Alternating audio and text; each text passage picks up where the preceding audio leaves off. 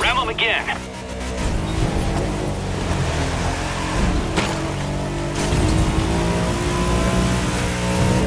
Down they go. Vault Corp thanks you.